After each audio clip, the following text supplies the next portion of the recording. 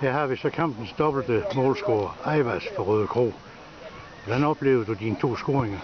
Jeg synes, det var et godt mål, og vi spillede rigtig godt sammen, og vi havde næsten hele spillet. Jamen, du skulle, hvordan oplevede du målene? Øhm, rigtig godt. Godt mål. Så var der noget, der ikke var så godt der i slutningen af halvlejen. Hvad var det? Jeg fik gul kort, Nå, for hvad?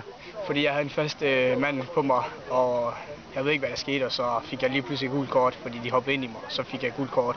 Og det var i orden. Ja, Det var godt. Øh, du havde ikke så slet så dominerende i anden halvleg. Der satte din mand på det hele tiden. ja, men jeg klarede det stadig godt. Jeg, kom, jeg sætter ham af og det hele.